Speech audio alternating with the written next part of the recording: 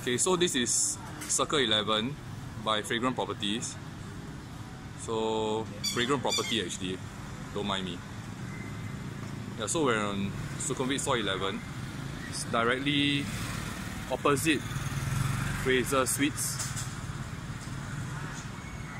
So, that's actually the lift which will take the residents' vehicle up to their own unit. Looks really impressive.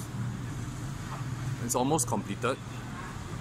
There were some delays and we do hope that eventually uh, everything is okay and they hand over pretty soon. Well, from the looks of it, actually, it's almost completed.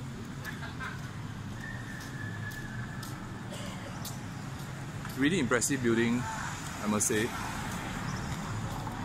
along Soi 11.